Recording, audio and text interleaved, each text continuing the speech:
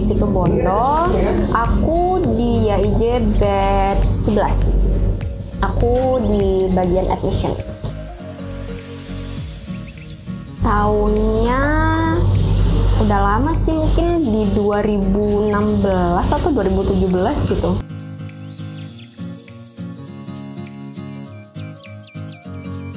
Biar bisa ke Jerman gratis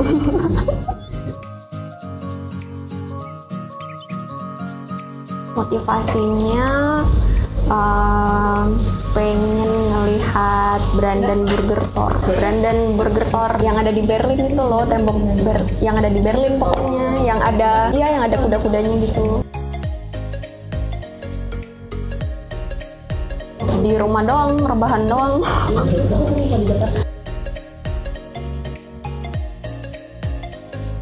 awalnya nggak boleh sih maksudnya kalau dari mama waktu itu nggak nggak begitu mendukung aku. Soalnya kan pas aku keterima di sini lagi pandemi lah Jakarta lagi zona merah lah apa segala macam gitu. Tapi akhirnya ya disetujui. Tapi kalau dari papa tuh support banget. Mama ya sampai sekarang ya juga support aku sih prosesnya prosesnya sih menurut aku cepet banget ya. Aku cuman ngisi formulir habis itu tiba-tiba udah interview sama Pur habis itu interview sama Her sama Mbak Ayu habis itu selesai. Bisa langsung Mbak Arinda nanti bulan Oktober bisa ke Jakarta? Oh iya bisa.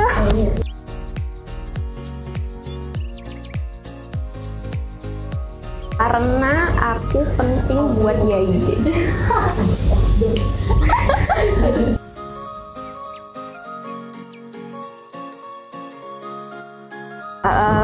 impressionnya aku berasa kayak ih kayaknya aku kok tua banget ya. Nah, ini yang lain-lainnya tuh masih masih muda-muda banget gitu. Ya kecuali pihak manajemennya sih ya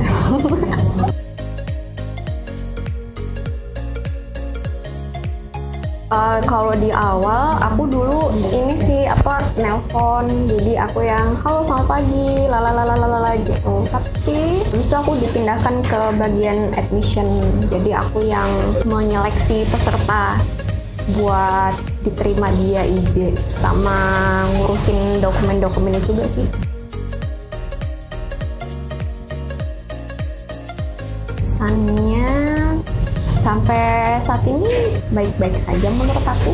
Mungkin pas di pertama nelpon itu aku ini banget sih gemeter banget. Aku gemeter aku deg-degan aku nggak tahu kudu ngomong kayak gimana. Soalnya aku lebih suka chat daripada telepon. Habis itu aku disuruh nelpon. Ngomong apa? Belibet ya ampun tapi akhirnya akhirnya nemuin polanya sendiri gitu loh gimana caranya buat ngobrol enak sama orang terstruktur dan sampai akhirnya mereka mau gitu buat gabung dia IJ kalau yang sekarang sih tugas aku malah cuman jadi apa ya supportnya aja gitu. Bukan aku yang jadi ujung tombaknya tapi aku yang kayak molesnya aku yang nyeleksinya. Dan aku merasa lebih enjoy sih melakukan itu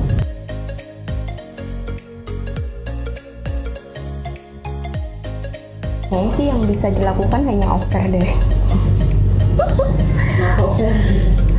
Iya, soalnya kalau aku ikut FSJ atau Ausbildung kan harus lepas kerudung.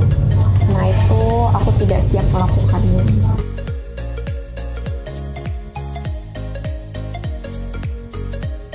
Uh, kalau langsung balik sih kayaknya enggak ya. Jadi mau nikmatin di Jermannya dulu untuk beberapa saat tapi bukan bukan untuk long term sih.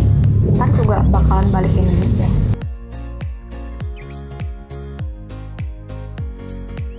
Prinsip hidup aku um, jangan pernah menyerah pada keadaan lalu tetap mencari kestability apa ya? Stability kestabilan menuju kestabilan. Ribet banget ngomongnya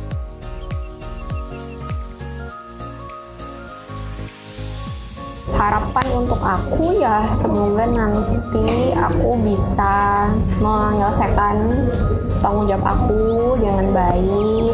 Lalu nanti selama proses uh, ke Jerman itu juga semuanya dilancarkan dan harapan buat YIJ bisa buka cabang di mana-mana di Indonesia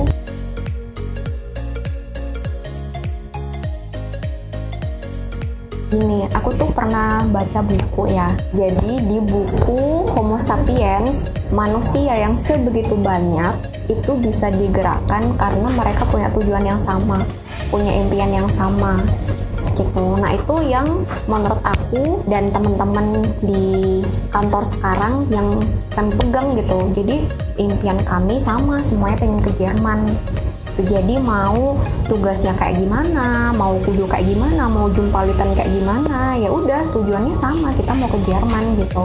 Dan nggak perlu nggak perlu ngeluh gitu. Kalau toh kamu punya rencana lain atau jalan lain yang bisa kamu tempuh untuk bisa ke Jerman selain ikut program magang dia IJ ya udah lakukan aja gitu. Tapi kalau menurut kamu satu-satunya jalan yang bisa kamu tempuh adalah ikut uh, magang IJ ya udah tanamkan itu di pikiranmu kalau someday kamu bakal berangkat gimana pun caranya kamu bakal berangkat ke Jerman dan make it happen. Eh aku tunggu kamu di IJ ya biar bisa ketemu sama aku. Bye bye.